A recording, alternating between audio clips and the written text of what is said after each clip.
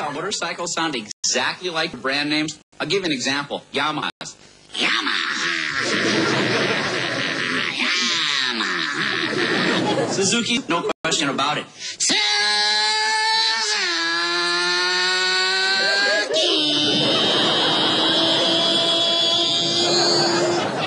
Hondas. You don't even know what it is when it goes by. It'll surprise you.